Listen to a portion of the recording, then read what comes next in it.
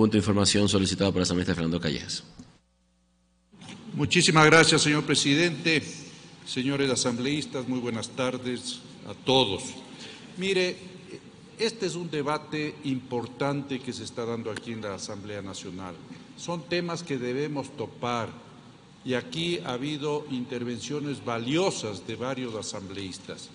Pero yo voy a recoger fundamentalmente algo que me preocupa, porque hemos tenido exposiciones dramáticas, como la exposición de Vilma Andrade con todos los datos que nos mostró aquí en pantalla, eh, testimonios de vida tremendos, como el del asambleísta Cuesta, el informe de la Comisión Ampetra que, al que se refirió la asambleísta Salgado, eh, la exposición del asambleísta Héctor Yepes, y todos aquí estamos preocupados por el tema de la violación, un delito execrable, un delito terrible, un delito que debería ser sancionado con el máximo rigor de la ley, especialmente cuando se comete contra niñas, niños, adolescentes, porque yo diría, al cometerse ese delito se ha terminado la vida de ese ser humano,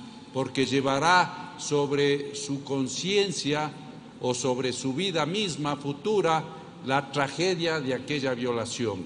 Y aquí yo quiero referirme puntualmente al tema de endurecimiento de penas, porque hay una tendencia que no podemos caer en el populismo penal, que tenemos que tener dosimetría penal y proporcionalidad penal. Sin ser abogado, yo he puesto especial interés en estos temas y de ninguna manera pretendemos o pretendo yo caer en el populismo penal, pero yo creo que tenemos que analizar seriamente y me refiero a esto que la señora asambleísta Salgado señaló, que se recoge en el informe Ampetra.